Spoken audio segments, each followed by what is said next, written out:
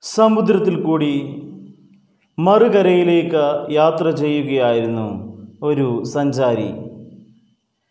അദ്ദേഹത്തിന്റെ യാത്രയുടെ മധ്യത്തിൽ സമുദ്രം ആർത്തിരമ്പി തിരമാലകൾ ഉയർന്നു.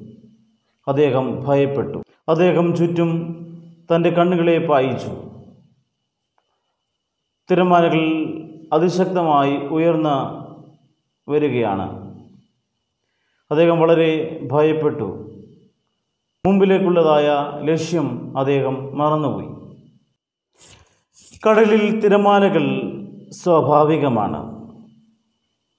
അതുപോലെ ഈ ലോകത്തിൽ കഷ്ടങ്ങളും സങ്കടങ്ങളും രോഗങ്ങളും ദുഃഖങ്ങളും എല്ലാം ഉണ്ട്. ചുറ്റുപാടും നാം വീക്ഷിക്കുകയാണെങ്കിൽ ലക്ഷ്യസ്ഥാനത്തെത്തുവാൻ നമുക്ക് സാധ്യമാവുകയില്ല.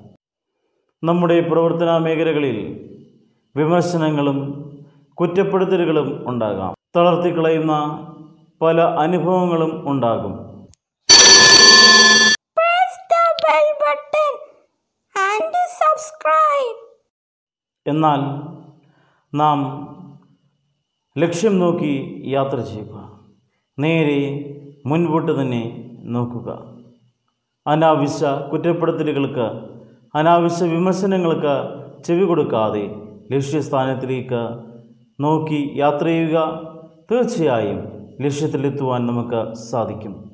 എല്ലാവർക്കും നന്മ നിറഞ്ഞതായ ഒരു പുതുദിനം ആശംസിച്ചുകൊണ്ട് ഹൃദയപൂർവത്തിന്റെ ഇന്നത്തെ എപ്പിസോഡ് ഇവിടെ പൂർണമാകുന്നു.